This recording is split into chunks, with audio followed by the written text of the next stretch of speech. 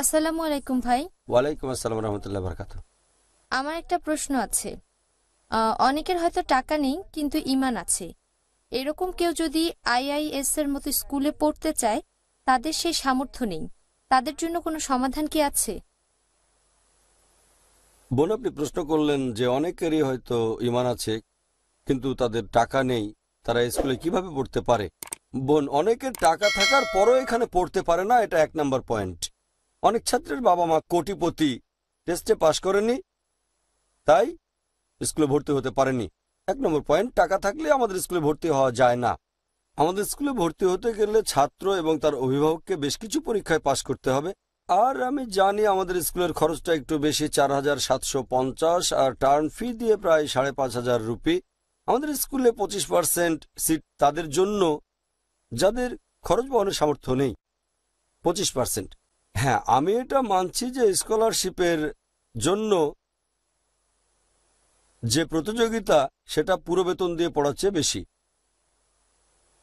প্রথম দিকে নিয়মটা ছিল না। আগে সবার জন্য একটা অ্যাডমিশন টেস্ট হতো। প্রথম বছরে কোনো ক্যাটাগরি করিনি। অ্যাডমিশন টেস্টে টিকলেই সে চান্স পেয়ে যাবে। তারপর দেখলাম স্কলারশিপ দিতে হচ্ছে পঞ্চাশ পার্সেন্টকে প্রথম বছর তাই বললাম সমস্যা নেই। তবে এভাবে স্কলারশিপ দিলে তো স্কুল বন্ধ করে দিতে হবে। তারপর আমরা নিয়ম করলাম পঁচাত্তর পার্সেন্ট পুরো বেতন আর পঁচিশ পার্সেন্ট স্কলারশিপ পরের বছর দেখলাম যে লোকের ইনকাম মাসে পঞ্চাশ লাখ টাকা, সে বলছে, ছেলে স্কলারশিপে পড়বে, আমার সামর্থ্য নেই। হ্যাঁ? হাতে রোলেক্স ঘড়ি, দাম কম করে হলো চার পাঁচ লাখ টাকা হবে। তার নাকি সামর্থ্য নেই, এখন কি করব? মাসে দুই হাজার দিতে পারব, এখন কি করব? আবার নতুন নিয়ম করলাম স্কলারশিপ শুধু তাদের জন্য, যারা জাকাত পেতে পারে। এভাবে নিয়ম বদল করেছি যাতে কেউ বোকা বানাতে না পারে। এমন না যে আমরা গিয়ে চেক করছি। তবে জাকাতের ব্যাপার হলে বেশিরভাগ মুসলিম সেখানে মিথ্যে কথা বলবে না। এরপরও দু একজন থাকতে পারে, তাদেরকে আল্লাহর হাতে ছেড়ে দিচ্ছি। আল্লাহ তাদের হেদায়ত করুন। নতুন নিয়ম করলাম যে আমরা স্কলারশিপ দেবো শুধুমাত্র সেই ছাত্রদের যাদের জাকাত পাওয়ার অধিকার আছে। এখন পুরো বেতনের ক্যাটাগরিতে দেখা যায় যে প্রতি তিনজন পরীক্ষার্থীর মধ্যে একজন চান্স পাচ্ছে। স্কলারশিপ ক্যাটাগরিতে প্রতি পনেরো জনের মধ্যে একজন পাচ্ছে। গড়পড় তাই। তাহলে সব মিলিয়ে প্রতি দশ জনে একজন ছাত্র পরীক্ষায় চান্স পায়। তবে স্কলারশিপ বেশ কঠিন, প্রতিযোগিতাটাও বেশি আমাদের স্কুলে, কারণ আসন সীমিত। আর আপনারা দেখবেন যে তারপরও আমরা যে লেভেলের মানুষজনকে চাচ্ছি এখনও পার্সেন্টেজ সেরকম হয়নি।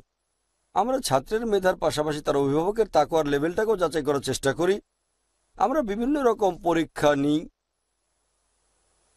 সবকিছু বিচার করে সিদ্ধান্ত নিই, আমরাই ছাত্রের পাশাপাশি যাচাই করি তার বাবাকে, তার মাকে ইত্যাদি ইত্যাদি। এরকম অনেক ঘটনা। আমি এ পর্যন্ত একজন ধনী লোককেও দেখিনি। গত পাঁচ বছরে যত অভিভাবকের ইন্টারভিউ নিয়েছি, যাদের কেবল টিভি বাদ দিতে বলেছি কিন্তু বাদ দেয়নি, একজনও না। প্রথমে হয়তো অনেকের কেবল সংযোগ ছিল। তবে এক গরিব লোক মাসে বেতন দেবে পাঁচশো টাকা, আর সবগুলোতে পাস। ফাইনাল ইন্টারভিউ দিতে এসে বলল কেবল টিভি বাদ দেবো না। তাহলে বুঝলেন তো ফেল পরের বছর আবার অ্যাপ্লাই করে কোনো লাভ নেই, সেবার প্রতিযোগিতা আরও কঠিন। চিন্তা করেন, একেবারে ফাইনাল ইন্টারভিউতে অভিভাবক বলল, কেবল টিভি আমি বাদ দিতে পারব না। কেবল টিভি বাদ না দিলে ফেল তখন তো ইমান উঁচু লেভেলে বলা যাবে না। পরের বার কেবল টিভি বাদ দিতে রাজি, কিন্তু প্রথম পরীক্ষাতেই ফেল কারণ প্রতিযোগিতা দিন দিন কঠিন হয়ে যাচ্ছে। আমরা সেরা ছাত্রদের নেওয়ার চেষ্টা করে থাকি, ঠিক? তাহলে বোন, কেউ যদি বলে টাকার কারণে আমাদের স্কুলে পড়তে পারছে না, সে আসলে মিথ্যে বলছে। আমি বলছি। এভাবে বলতে পারেন, আমি প্রতিযোগিতায় টিকতে পারিনি। ঠিক আছে। আমাদের স্কুলে স্কলারশিপের ব্যবস্থা আছে। অনেক ছাত্র এখানে সেই সুবিধা নিয়ে পড়াশোনা করে থাকে। কেউ হয়তো একশো, কেউ পাঁচশো, আবার কেউ এক হাজার টাকা, পঁচিশ পার্সেন্টের বেশি, বর্তমানে চল্লিশ পার্সেন্ট ছাত্র স্কলারশিপ পায়। পঁয়ত্রিশ থেকে চল্লিশ পার্সেন্টের মতো। টাকা না থাকলে এখানে পড়া যাবে না কথা ঠিক না, তবে আঙ্গুর ফল টক। এখন এরকম হতে পারে, অনেক ধনী বাবার সন্তান অ্যাডমিশন নিতে পারেনি, অনেক ধনী লোক। তাদেরকে আমরা ফিরিয়ে দিয়েছি। এখানে তারা ভর্তি হতে পারেনি। আমাদের অনেক ঘনিষ্ঠজনকেও আমরা ফিরিয়ে দিয়েছি। এমন না যে ভর্তি হতে গেলে জাকির ভাইকে চিনতেই হবে। পরীক্ষায় পাশ করতে হবে। আর যদি এরকম হয়, আপনাকে আমি দায়ী হিসেবে চিনি, তাহলে সম্ভাবনা বেশি। এভাবে ঠিক আছে। সেজন্য আমাদের ফর্মে জায়গা থাকে, আপনি কাউকে চেনেন, তাহলে রেফারেন্স দেন।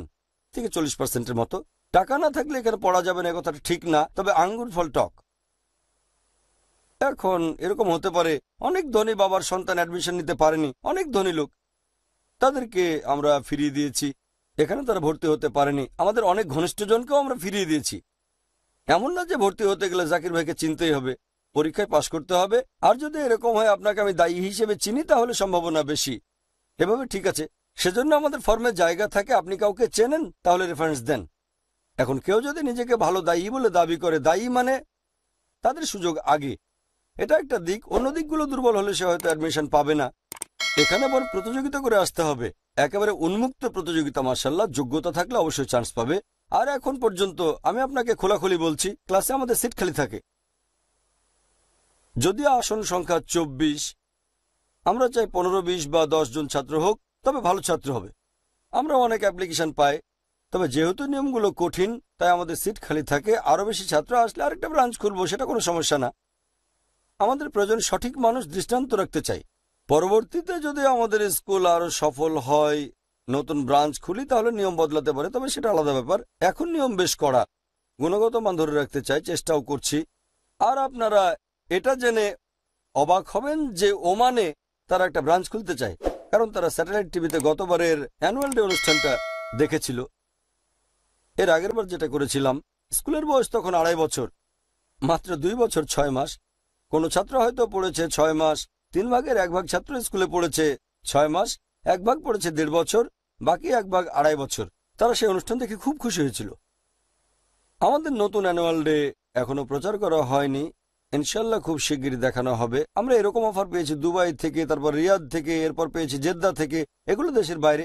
ভারতে মাসাল্লাহ আর ইনশাল্লাহ আমরা চ্যানেল শুরু করেছি একটা বছর। অপেক্ষা করেন আপনারা।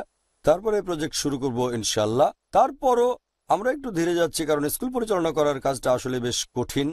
এটা সম্পূর্ণ আলাদা ধরনের একটা স্কুল তারপরও অনেক ব্যাপার নিয়ে আমাদের মনে এখনও অতৃপ্তি রয়ে গেছে। আমি যেরকম আদর্শ স্কুলের স্বপ্ন দেখি সেখানে পৌঁছাতে অনেক পথ বাকি। তারপর আলহামদুলিল্লাহ, সুম্মা আলহামদুলিল্লাহ। বর্তমান সময়ের অন্যদের সাথে তুলনা করলে সেটাদের একটা আলহামদুলিল্লাহ। এখনও অনেক উন্নতির জায়গা আছে। স্কুলের জায়গা বাড়াতে হবে, এরকম আরও অনেক কিছু। তারপরও মাসাল্লাহ আমাদের যেটা ভালো লেগেছে, আমাদের দেখে অনেকে এরকম স্কুল চালু করতে চেয়েছেন। সেখানে টাকা কোনো সমস্যা নয় হয়তো বাজেট আমাদের চেয়ে অনেক বেশি। তবে আমরা এখনও সবগুলো প্রজেক্টের কাজে ব্যস্ত। ইনশাল্লাহ আমরা ভবিষ্যতে অন্যান্য দেশেও এই স্কুলের ব্রাঞ্চ খুলব। আশা করি উত্তরটা পেয়েছেন। Allahu